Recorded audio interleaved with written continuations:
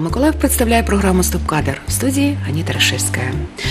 Де можна зустріти диво, ми з вами дізнаємось в нашій сьогоднішній програмі і прослідкуємо шлях народження духовного життя. Святой Георгий Победоносец, покровитель нашего храма, покровитель нашего поселка. Мы ему молимся. Церковь очень красивая, очень здесь уютно, и мне здесь очень уютно и хорошо служить. Поначалу планировалась часовня в честь Андрея Первозванного, а потом уже прошло два месяца, посмотрели, как бы, ну, часовня, решили церковь. Главная задача священника – самому спасаться и чтобы людей спасать, чтобы люди спасали, чтобы люди наследовали Царство Небесное. Сьогодні, друзі, я пропоную вам подорож, під час якої ви почуєте цікаві історії, які відображають справжнє життя наших людей.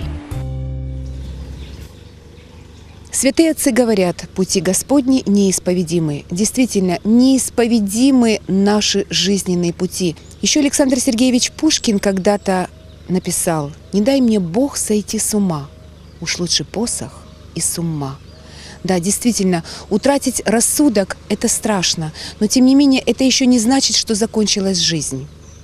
Как быть тем, кто по воле Божьей по каким-то причинам утратил рассудок? Ведь они остаются людьми. Они тоже требуют тепла, любви и, конечно, молитвы. На территории второй областной психиатрической больницы построена вот эта замечательная часовня в честь святой великомученицы Елизаветы, великой княгини, которая при жизни всегда посещала больных, убогих и молилась о тех, о ком уже некому молиться. Друзья мои, давайте зайдем на территорию этой часовни, давайте побеседуем с батюшкой, который возносит молитвы к Богу о всех, и о тех, кто страждет, и о тех, кто веселится. Давайте вместе поговорим, постоим, помолимся и даже помолчим. Пойдемте.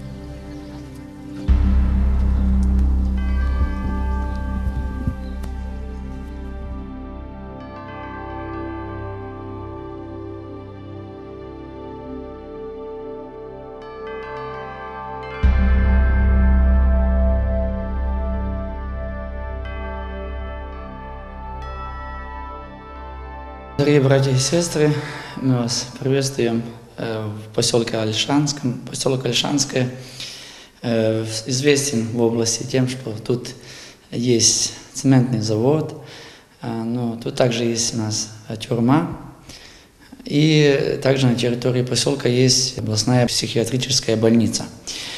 А, и в 2009 году э, такое было событие у нас Тут по соседству жил человек, попал был в аварию, и он э, захотел вот, построить такую небольшую часовеньку. Главврач психбольницы Антоний Анатольевич Педак, работники психбольницы совместно с добрыми людьми э, в 2009 году было положено основание э, вот, строительства здесь часовни. Часовня была построена, в принципе, очень быстро. Уже в 2013 году тут уже начались службы. Владыка наш Тюрим осветила здесь место.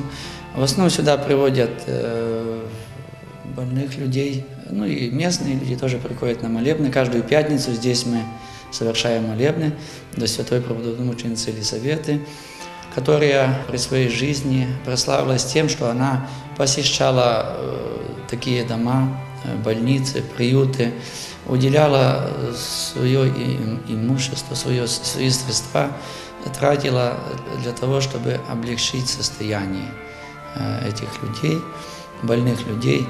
Вот, поэтому э, есть такое вот, э, и врачи говорят, что очень нужно здесь, чтобы была здесь часовня, чтобы здесь совершалась служба, потому что это действительно приносит большую пользу вот, для реабилитации больных. То есть все делается с молитвой. Мы находимся с телезрителями на территории второй областной психиатрической больницы. Здесь находятся люди, у которых э, в какой-то мере помрачен рассудок. Рассудок и душа – это разные вещи. Ну, э, как есть пословица, в здоровом э, теле здоровый дух. Вот. И наоборот, что действительно это все взаимосвязано. И душевное здоровье, и телесное. Вот. Э, человеку может быть на душе плохо, и его все, ему все не так, и все у него не так идет. А вот если духовное состояние будет в порядке, тогда и уже и есть какой-то стимул вот, стремиться к чему-то, что-то делать, э, что-то созидать, вот, жизнь свою как-то планировать вот, на будущее. Вот. Поэтому многие сюда люди э, ездят, лечатся. Поэтому слава Богу, что э, церковь э, всегда рядом с человеком.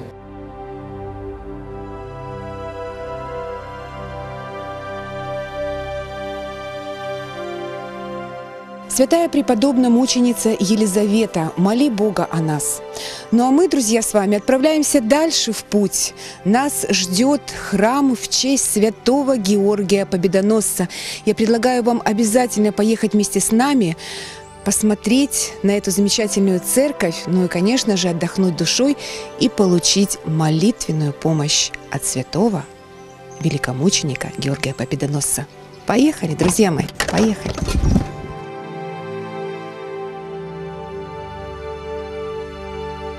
Мы уже с вами в селе Терноватое Николаевского района стоим около церкви, которая построена в честь святого великомученика Георгия Победоносца. Это основной храм в селе. В выходной день сюда приходит очень-очень много людей, служатся молебны, но самое главное, конечно, служится божественная литургия. Начало начал и основа основ всему. И сейчас мы побеседуем с отцом Иоанном, который расскажет о приходской жизни, о том, как живут люди. Идемте, телезрители, видите, какая красивая калитка. Вот мы заходим на территорию храма. Здесь э, очень э, добрые труженики, люди. Э, тут есть завод, другие предприятия, люди коллективов. Э, и э, я думаю, что священник, он э, как бы духовно окормляет всех людей. Как бы соединяет, да, отец? Да, и цементники, и в тюрьме работники, и все больницы, и учителя, что очень отрадно, что у нас в школе преподается предмет христианская этика вот, деткам. Хочется, чтобы действительно духовность э, поднималась, чтобы э, вот духовный уровень, чтобы и детки ходили в храм, чтобы э, семьи, вот была такая любовь в семьях, и чтобы дети слушали своих родителей. Сюда 18 лет назад отец Геннадий через речку, через мост его пропускали, он сюда приходил. И тут э, создалась православная община, православная громада. Потом здесь был построен храм великомученика и победоносца Георгия, покровителя нашего поселка.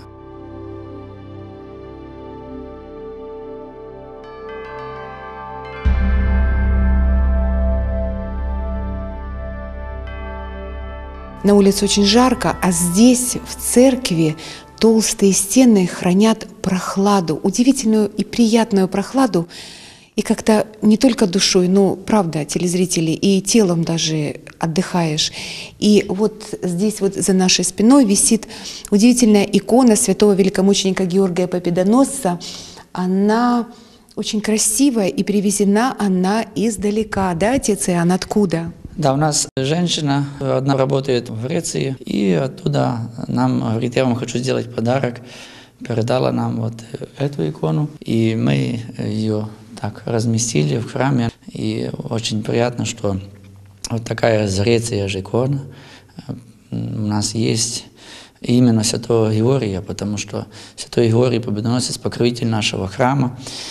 покровитель нашего поселка. Э, Мы ему молимся, просим, чтобы святой великомужный Георгий Победоносец сохранял нас от всякой беды и напасти, э, помогал нам в наших нуждах, в наших житейских обстоятельствах, э, чтобы он перед престолом Божиим молился за всякого человека, кто э, приходит в этот храм, кто молится, кто призывает его на его, на его на помощь. И пускай же Господь дарует всем жителям нашего поселка, всем прихожанам Святого Храма сего, чтобы мы всегда жили в вере, в вере той, который жил Святой Великомужный Георгий Победоносец. Потому что он действительно великий угодник Божий, который прославился великими чудесами и даже по сегодняшний день э, прославляется, потому что мы чувствуем эту помощь, эту поддержку. Где-то что-то надо для храма, и всегда молишься, просишь великомученика Георгия, чтобы он помог. И в скором времени часто так происходит, что оно нам и есть то, что мы просим. Церковь очень красивая, очень здесь уютно, и мне здесь очень уютно и хорошо служить. Я благодарю Бога и Владыку, что э, я здесь сподобился служить в этом святом месте, в этом святом храме.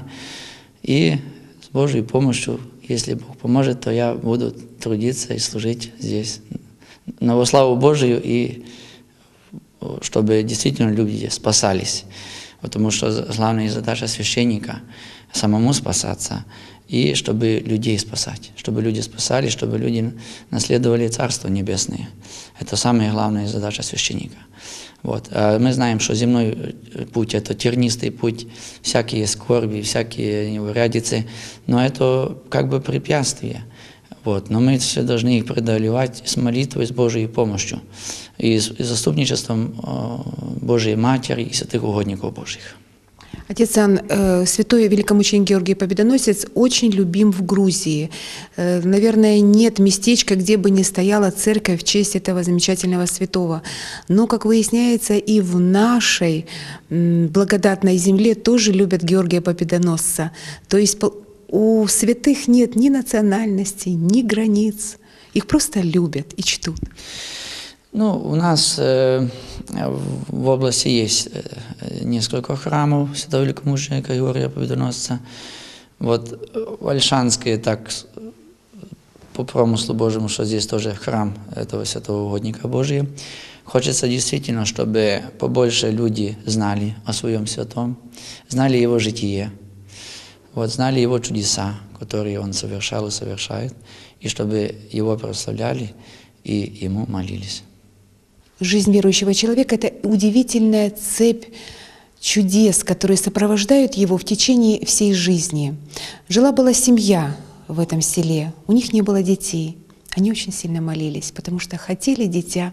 И Господь услышал их молитвы и послал им дитя, которое родилось. Родилась девочка, назвали ее Анна.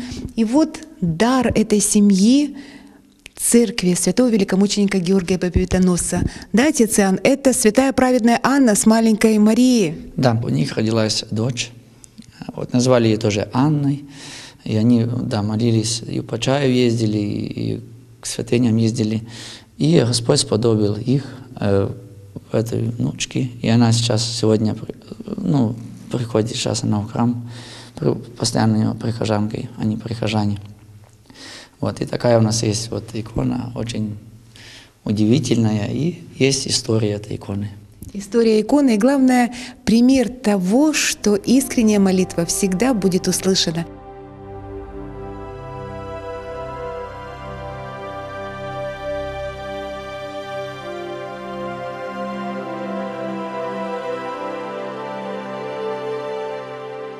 И вот из одного села, друзья мои, мы с вами, милостью Божией, конечно, очутились на самом краю Николаевского района в селе Новая Андреевка. Посмотрите за моей спиной, какие красивые просторы, какое раздолье, какой свежий и чистый воздух. И рядом церковь святого апостола Андрея Первозванного. Я думаю, что вы видите, насколько она новенькая. Она построена в 2015 году, совсем новенькая. Если мы сейчас зайдем внутрь, вы, конечно, почувствуете, что там даже пахнет краской, но это ничего не значит, потому что благодать Божия присутствует в этом новом храме. Пойдемте, почувствуем эту благодать Божью. Идемте.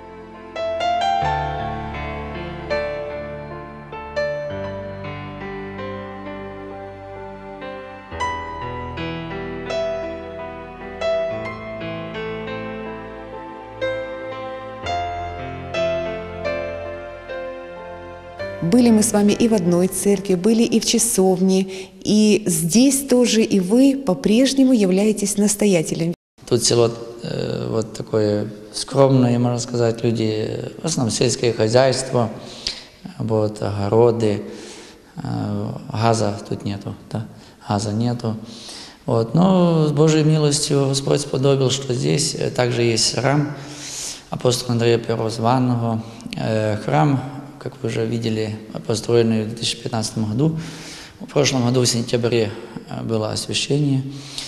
13 э, уже декабря, в день памяти апостола Андрея Первозванного, здесь служилась первая божественная литургия. Приезжал сюда владыка Петерим, было много гостей с Николаева. Основной такой э, человек, владетель, это Александр Герасимович, покойный. Вот как раз пару дней назад было 40 дней, как он умер. Вот он, как можно сказать, успел закончить этот храм, помог, помог, помог построить и умер. Житель села, да? Э, да, он родом из села, с Новоандреевки. Здесь рядышком его, ну, где дом его был. Э, у него есть тоже родственники.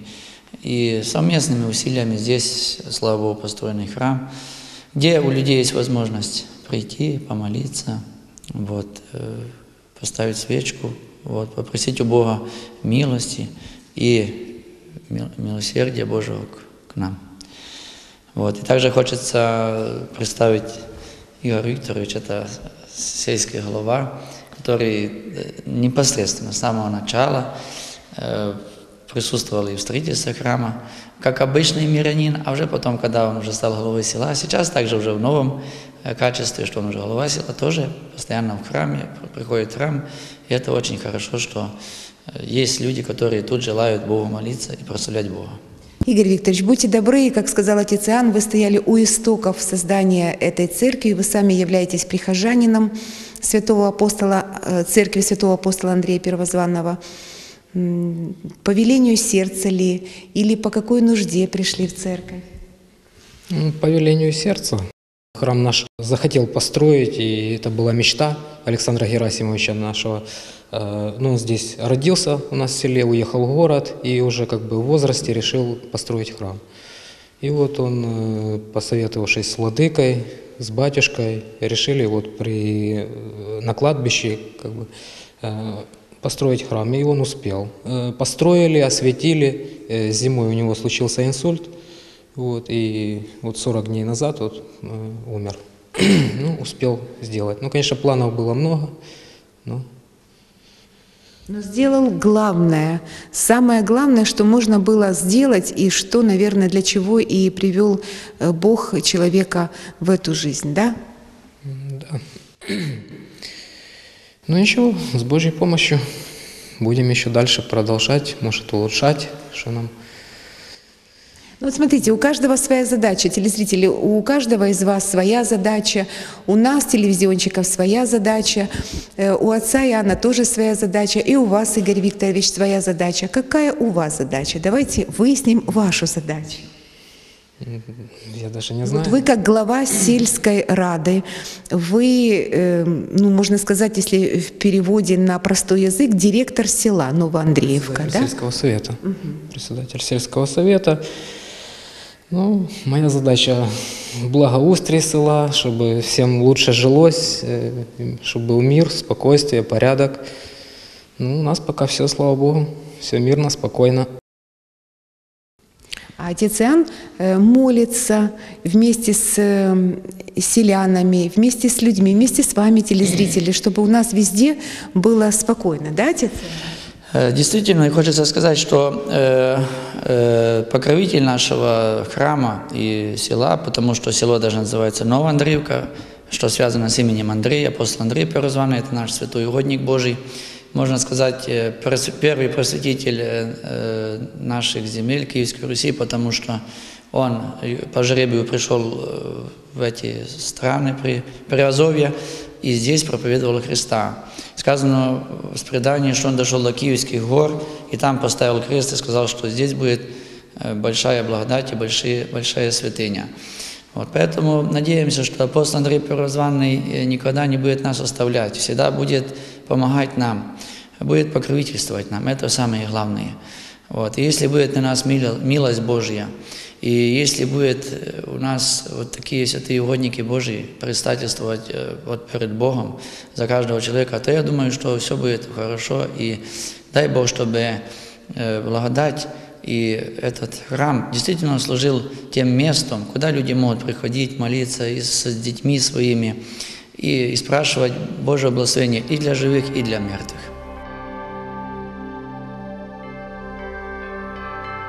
Есть один маленький нюанс. Знаете какой, друзья?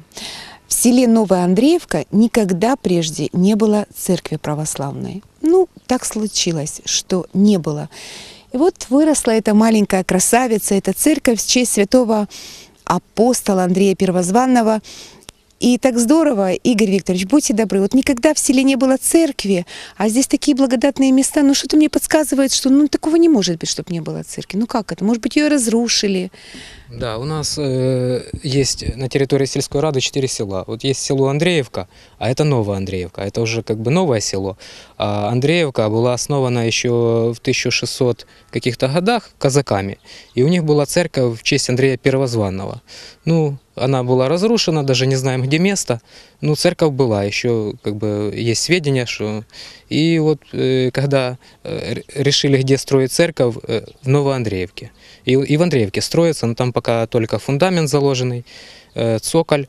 А здесь ну, нет спонсоров, кто бы согласился участвовать в этом проекте. А здесь э, наш э, коренной житель, э, у него была своя строительная фирма, и он так переживал за родину, за свое село, и решил построить церковь. Ну и вот его мечта осуществилась. Ну, как бы все участвовали всем селом, но основные, конечно, вложения это его. Поначалу планировалась часовня, в честь Андрея Первозванного. А потом уже прошло два месяца, посмотрели, как бы, ну, часовня решили церковь. И вот осветили, э, то есть владыка благословил и осветили как церковь. Вы говорите, что э, церковь строили э, в принципе, всем селом. Люди откликнулись на строительство церкви. Это значит, что тоскуют люди, если нет вот этого благодатного очага, где может отдохнуть душа и вознестись э, к Богу сердце. Ну, ближайшая церковь, э, правда, не церковь, а там вагончик стоит, это в селе Ковалевка, 12 километров. То есть, ну, людям э, хотелось бы пойти в церковь, но ближайшая церковь далеко, и добираться неудобно. Ну, а так у нас, слава Богу, есть своя, то когда служба по воскресеньям, есть возможность пройти уже на месте, хоть на четыре села, но уже все-таки ближе, чем, чем 12 километров. Ну и так, слава Богу. Слава Богу. видите, телезрители, если вы захотите приехать в церковь святого апостола Андрея Первозванного в село Новая Андреевка, приезжайте, вам тоже будут здесь рады, да, отец? Да, мы всех приглашаем, кто будет здесь в этих краях. Вы уже все увидели, какие здесь есть рамы, Э, какие, какой маршрут, вот, то мы приглашаем всех, э, вот, кто желает, можете всегда э, здесь помолиться, вот, почувствовать здесь как себя, как дома. Поэтому всем желаем Божьей милости, Божьего благословения, помощи Божьей во всех делах. Апостол Андрея Первозвана, великомученика Егория Победоноса, правдомученицы Елисаветы и всех святых угодников Божьих. И всем вам желаем счастья, здоровья и многое лето. Всех вам благ. Бог вам помощь. Гадаю, друзі, що ви не дарма витратили час, подорожуючи з нами по теренам нашого краю, подихали свіжим повітрям і вкотре раз запевнились, що наша земля найкраща. Я Аніта Рашевська прощаюсь з вами. На все добре.